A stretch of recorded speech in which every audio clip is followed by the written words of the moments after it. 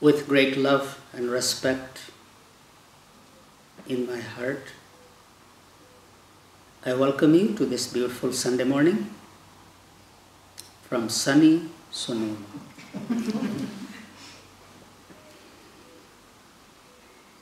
Before we begin, let's just take a moment to arrive and settle down. So, wherever you are, just pull your spine straight, open your shoulders, close your eyes, and lighten your mind. Invite that peace, calming, cooling sensation in your eyes.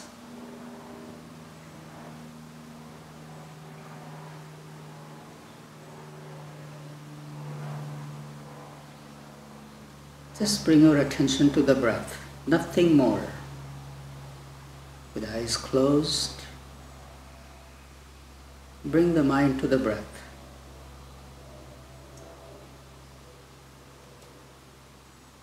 Imagine your body is the house, breath is the guest, and mind is the host. Taking the guest on a tour of the house.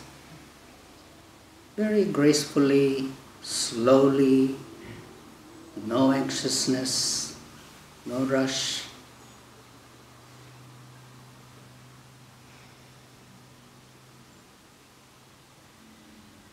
Imagine the breath is permeating throughout your whole body.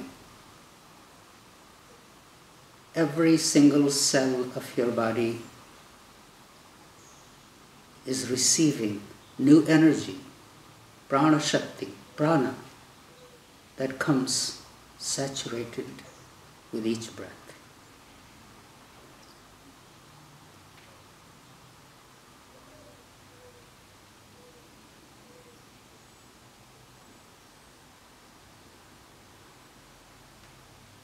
Let the mind stay in touch with the breath constantly whether breath is coming in or going out.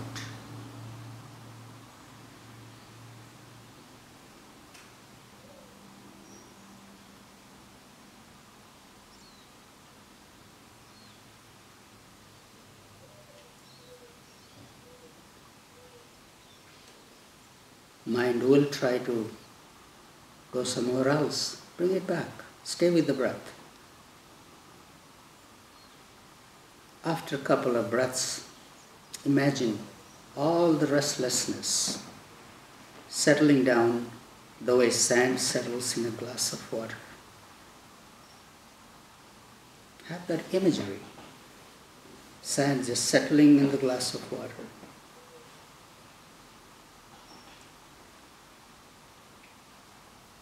Lightness as the breath comes in. You feel light. There is no heaviness. There is a sense of gratitude and welcoming this breath in my heart.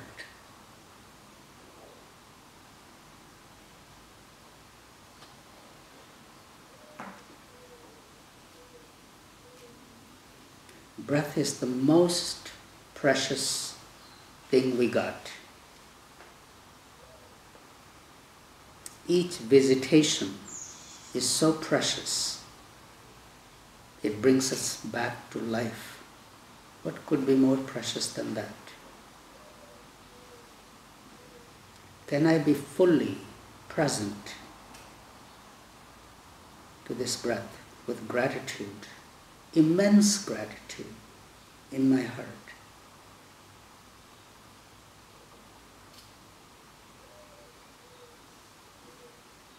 Pause the breath wherever it is for a moment. Just pause it.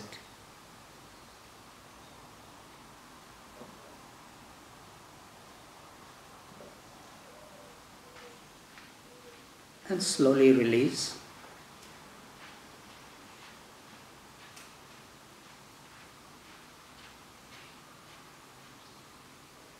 Again, pause it. think of stillness of your eyes now.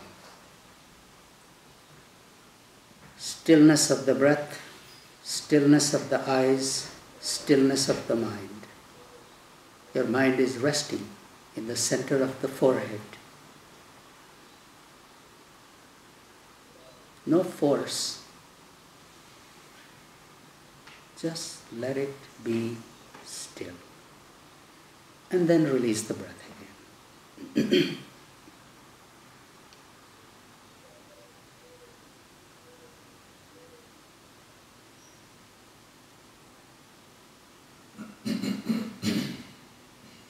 Pausing it again.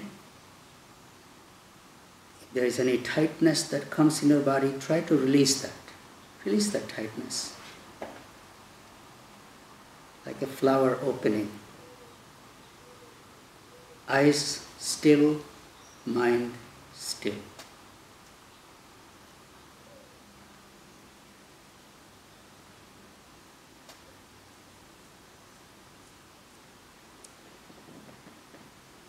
Thank you for taking this time. Just open your eyes.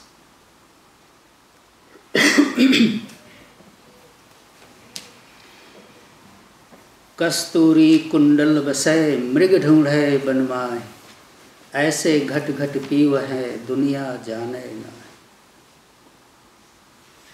Kasturi that intoxicating fragrance of musk resides within the deer intoxicated with that fragrance deer runs amok all around under this bush, that bush, that tree, that tree, looking for it.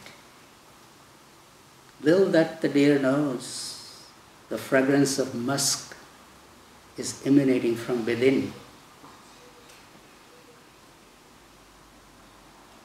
That which we are seeking is within us. It's not found outside.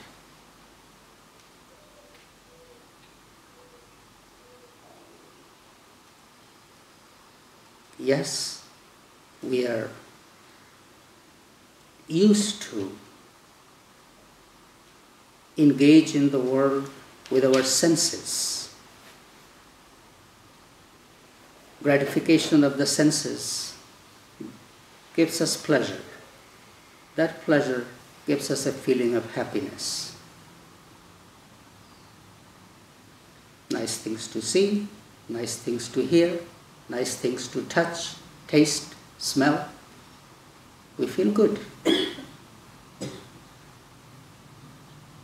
but this feeling doesn't stay very long, it's fleeting. Fleeting. And we keep on going looking for it more.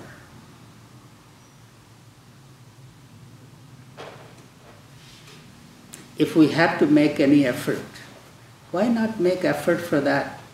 This feeling stays longer and it's not changing every moment. So, this work that we do, whatever spiritual practice you have, is really an attempt to find that.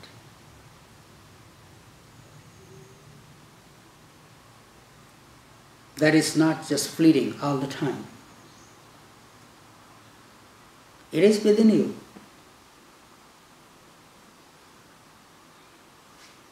just because we are not used to turning inward, turning towards ourselves, we keep looking for it in different things.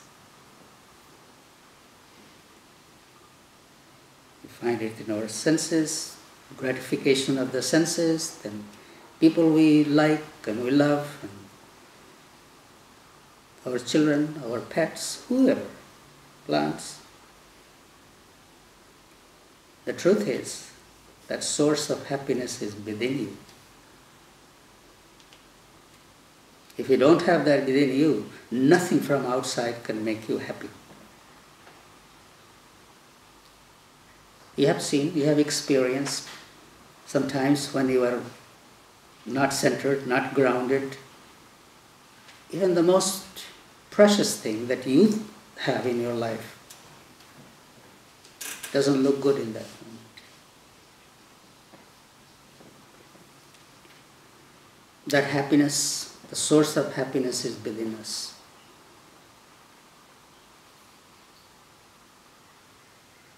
And it begins with turning our attention towards ourselves.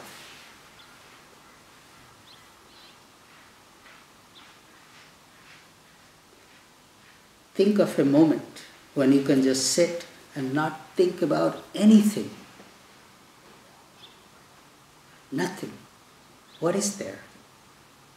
All of a sudden, you get a glimpse of that light that's already within you. Then the mind goes, thinks about a situation, a problem, or joy, sadness. It comes back. So, the practice of stilling our mind that we practice is very important. And you can do it anytime. You don't have to be sitting in lotus and looking holy. Nothing. No matter where you are, just stop the breath right at the throat. Think, just think. Your eyes are still. If you try to make them still, they will not. You have to start with just putting a thought there that my eyes are still. When the breath is still, eyes are still, mind naturally becomes still. Stillness of the mind begins with the stillness of the eyes.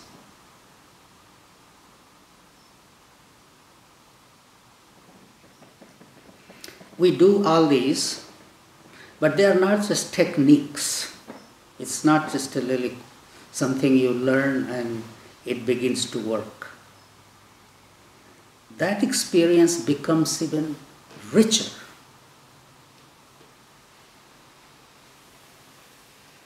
In an environment of devotion. Devotion. Devotion to what? Devotion to the higher. In whatever name, form,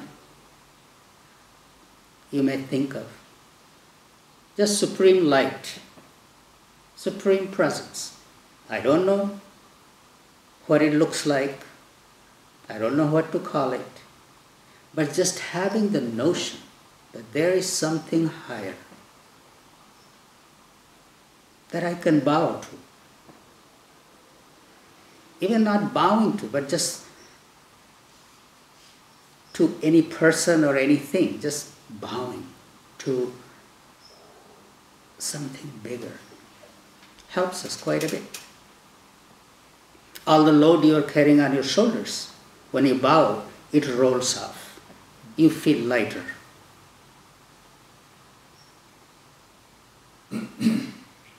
when we have not tasted bowing from the heart, we feel so burdened so heavy. Our shoulders are so heavy. Looks like we are carrying the world on our shoulders.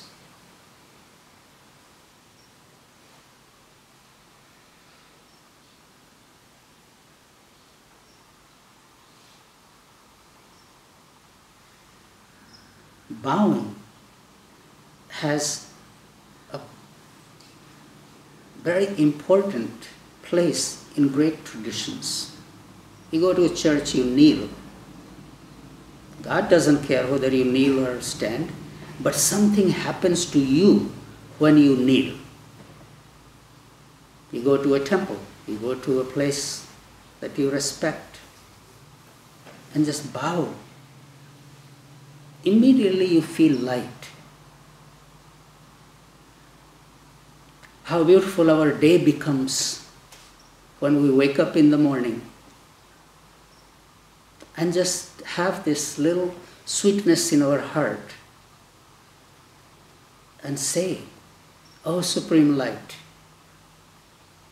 may this be a good day. May this day be a good day. May I meet good people. And may I do something good with my hands. Just even saying this lightens our burden. Because if we don't have something that we can talk to in such a way, we wake up with all the weight on our shoulders.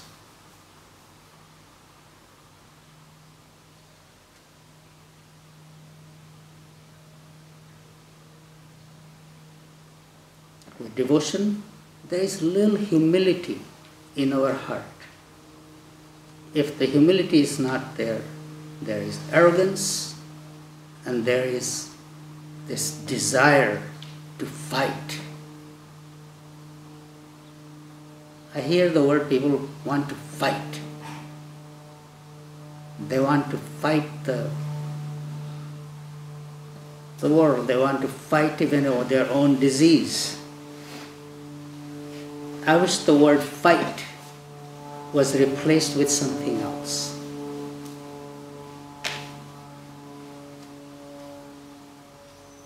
Can you see in the martial art? They don't fight. They know the techniques. They use the energy. In life, we can use that energy without having to fight. In our own home, sometimes we feel you have to fight for your right.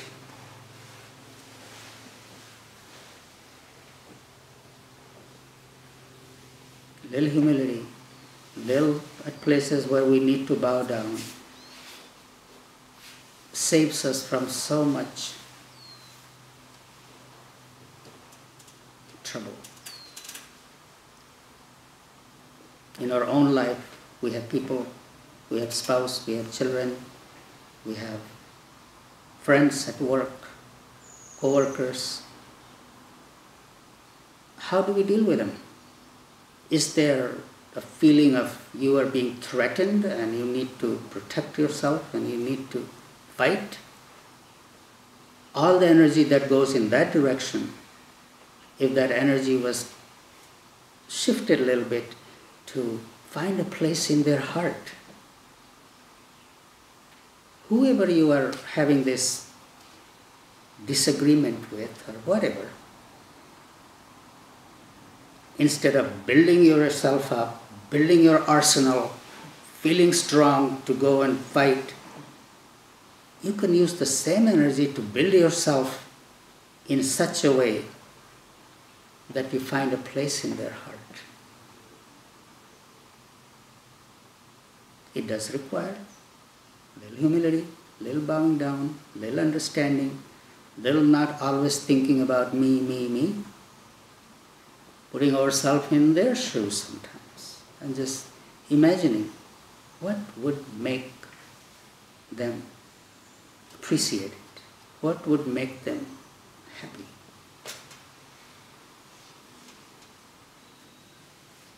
If the mind is not in the right place, it will come back again and say, Why it's only me who has to do it all the time? When we are living our dharma, we don't look at the other, we look at ourselves. What is my dharma? Am I living my dharma fully?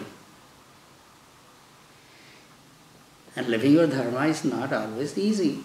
Sometimes it takes little effort. Sometimes it takes a little discomfort, a little humbling. But it works. It always works.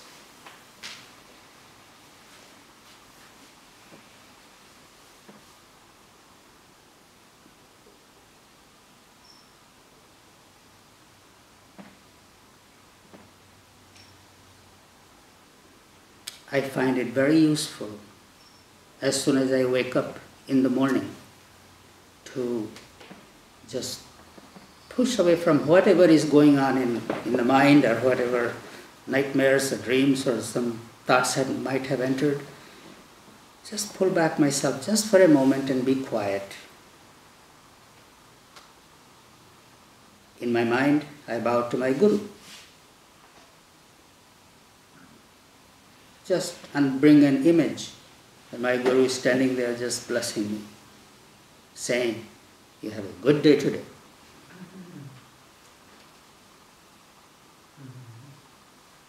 And just even though it's my own thinking and imagining, but it becomes so real, so alive, just to start the day with my Guru's blessing.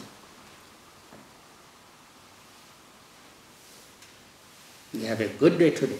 Go make effort. My energy is with you. With this little inspiration, go out and start my day. If I don't have such a thing, then the fear will just will be there.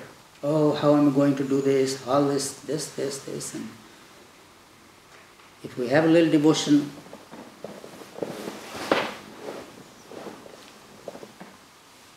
it gives us strength. Devotion gives us wind behind the sail. You got your boat and you got your sail up. From where the wind is coming. It is our devotion that creates that.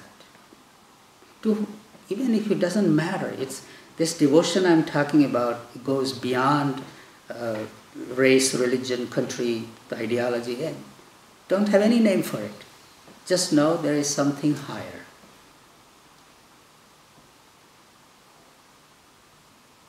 Because you are not the mightiest and highest, and you are. So, if you feel you're not that big that you can control everything, then there is something higher. And that higher doesn't need to come and prove it to you. Some people say, Oh, I don't believe in anything, I need the scientific rule. It is right there all around us. What makes the seed sprout? That Shakti, that energy is there, hidden within every molecule of this universe, from tiniest to the largest. So I don't give it a name, I don't give it a form, I don't give it a religion. I just say, Oh Supreme Light. I don't understand you. You are beyond my comprehension. All I know that you exist.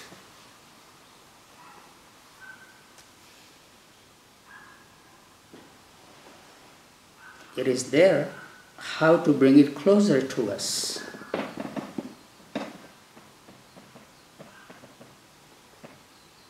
Water accumulates in the low spots. Devotion is like the little spot that, that Shakti can come and fill in.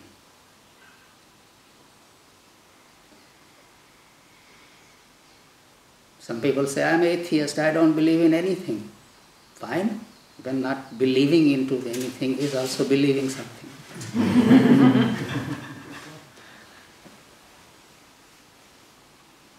so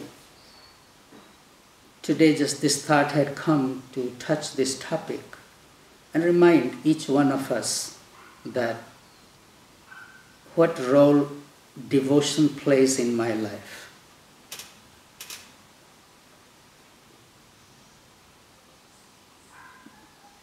In different traditions, people express their devotion in different ways. And they will go to a temple and offer some sweets and say, Oh, may this be, may I receive the blessing for this? If it doesn't happen, then devotion is not an exchange. And it should not be tested over every small things. the notion of devotion is so deeply entrenched in us that it doesn't need to be reminded every time.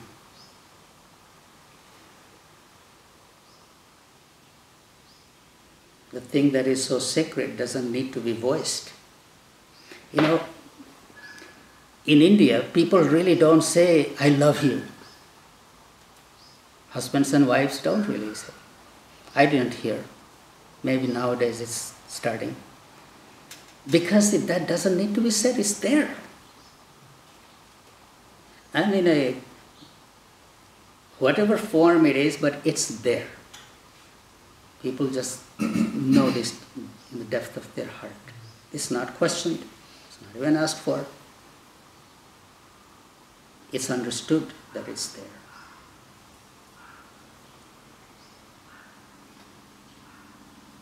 So, if you have been thinking about it, the role of devotion and how, what kind of relationship you have with it, please look at it. And even try it for a week. If don't, you don't have any, look at the way you wake up in the morning. What is the first thing you do? the best time is the first thing in the morning. Some people get up first thing and they're thinking about their cat and their dog and their this and that, children and spouse. Just take 30 seconds for yourself and that supreme light. Every soul has its own journey. Who you are trying to save, you will save, but just give yourself 30 seconds. Give yourself a minute. They can wait. They can wait.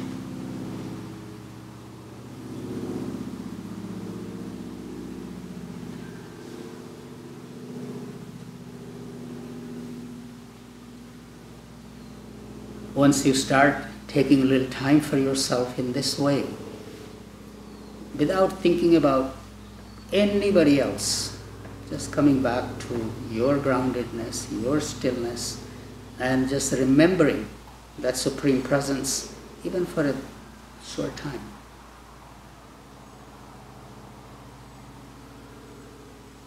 It will help.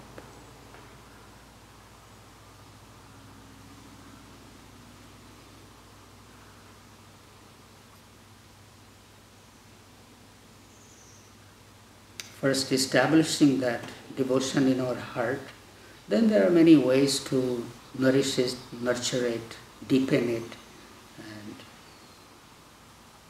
but first, we have to be very clear that I am aware, or at least I have a little space in my heart for that supreme light.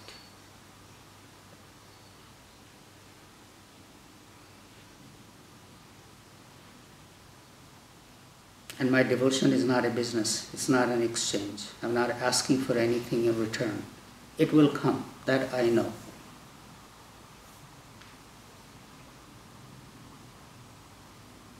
Sometimes we look at things on the surface and pray for things, and if it doesn't happen, then we are disappointed. if we really have to pray for anything, say, O Supreme Light, may I have enough strength and ability to make the best out of whatever situation may arise. And we do. No matter. The worst of our fears sometimes happen and we go through it.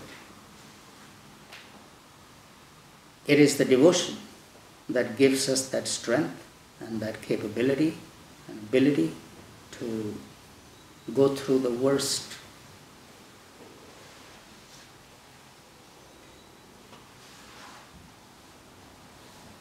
I bow to that devotion residing in each of our hearts and thank you for your presence.